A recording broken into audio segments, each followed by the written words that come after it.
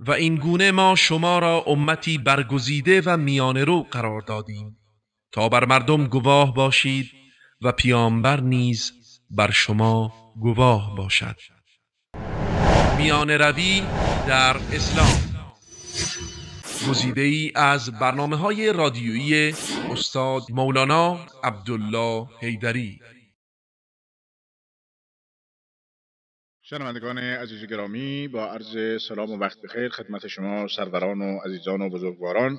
اینک با بخش دیگری از سری برنامه های میان روی در اسلام در خدمت شما است آیه 186 سوره بقره رو خدمت شما می‌خونم که خداوند متعال میفرسایت ها میخوندم که دانشمندان در دانمارک کنم.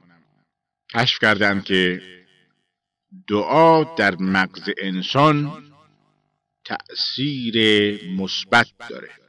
یعنی با یک سری آزمایش ها دریافتن که وقتی انسان با خداوند خودش سخن میگه و او رو خطاب می‌کنه و حرف می‌زنه همونطوری که با یک انسان رو در رو شما حرف می‌زنید و مغز شما به کار میفته به همون شکل در هنگام سخن گفتن با خداوند متعال انسان مغزش به کار میافته.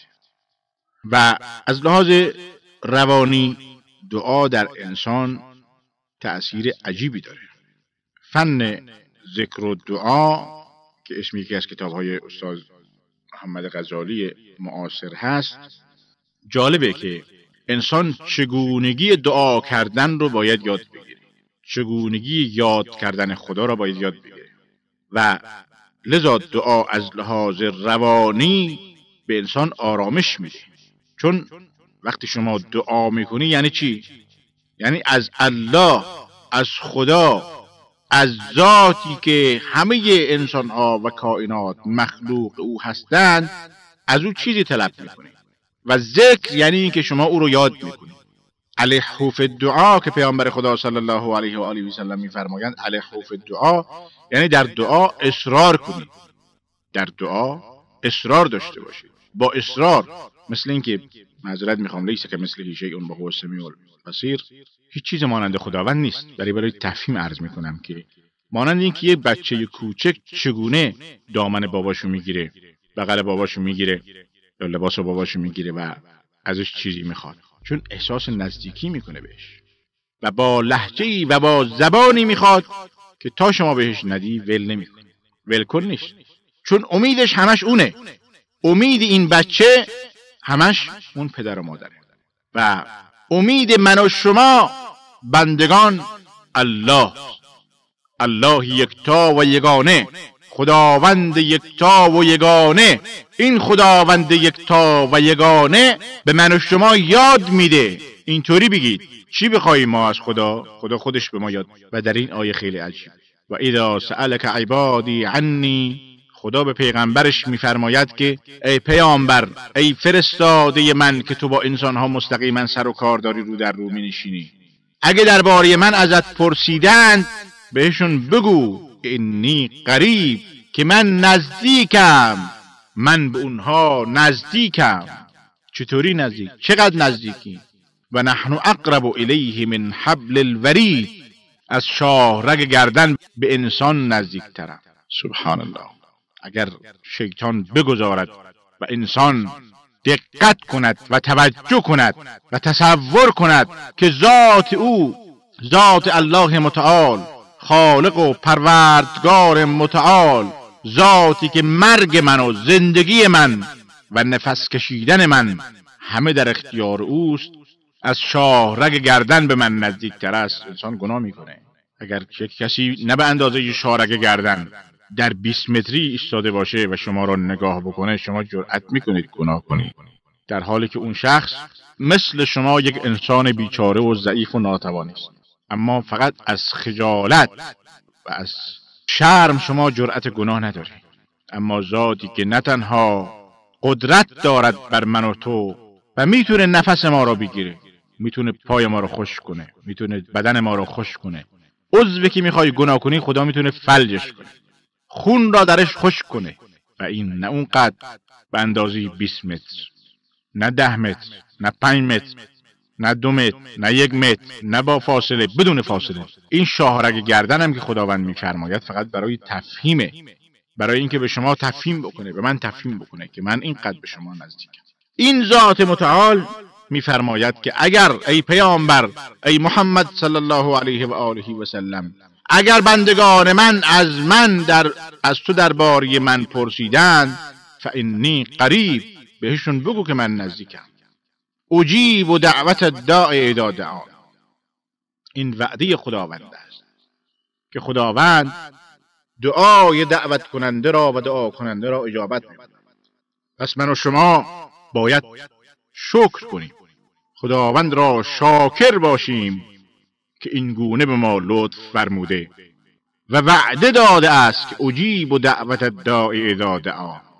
هر دعا کننده ای که دعا کند و از من بخواهد من دعوت او را و دعای او را اجابت می‌کنم. فلیستجیبوا لی ولیؤمنوا بی لعلهم یرشدون. حال که من دعای اونها را اجابت می‌کنم اونها نیز باید دعوت مرا اجابت کنند. فلیستجیبوا لی ولیؤمنوا بی و به من ایمان داشته باشند باور, باور یقین و کامل داشته باشند. چرا لعلهم یرشدون تا اینکه رستگار بشن؟ تا اینکه پیروز بشن. سعادت و خوشبختی دنیا و آخرت در گرو ایمان به الله ایمان خالص باور کامل یقین محکم. آری من و شما بنده ایم و ناتوان. ذات توانا و دانا به من و شما راه سعادت را نشون و خیلی جالب است که شعن و نزول این آیه جوری که امام تبری روایت کرده از معاویه ابن حیده یکی عربی اومد خدمت رسول خدا صلی الله علیه و آله و سلم و عرض کرد که اقریب ربنا فنناجی ام بعید فننادی. آیا پروردگار ما نزدیک است که باش یواش صحبت کنیم؟ یا اینکه دوره فریاد بزنیم. پیامبر خدا صلی الله علیه و آله و سلم سکوت فرمودند. تا اینکه این آیه نازل شد و خداوند فرمود و اذا سألك عبادی عنی فانی قریب. پس نمی‌خواد فریاد بکشید من نزدیکم اجیب و دعوت الدا میشنوم. اما پرسش این است که کسانی که غیر خدا را می‌خوانند کسانی که غیر خدا را می‌خوانند در مشکلاتشون لا یملکون من قطمیر نقیر یا فتیل.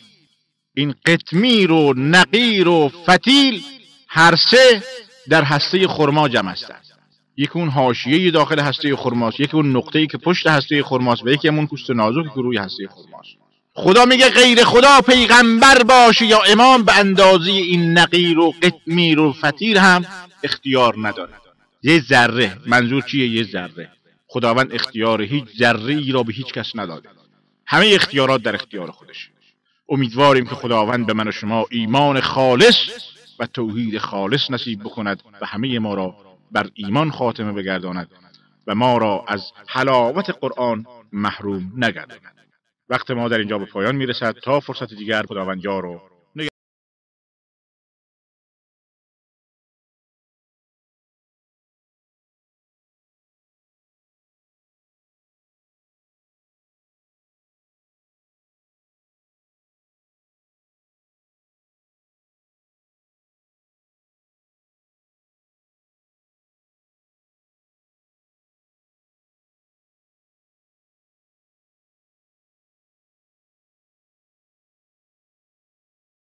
و این گونه ما شما را امتی برگزیده و میانه رو قرار دادیم. تا بر مردم گواه باشید و پیامبر نیز بر شما گواه باشد. میان روی در اسلام. گزیده ای از برنامه های رادیویی استاد مولانا عبدالله حیدری.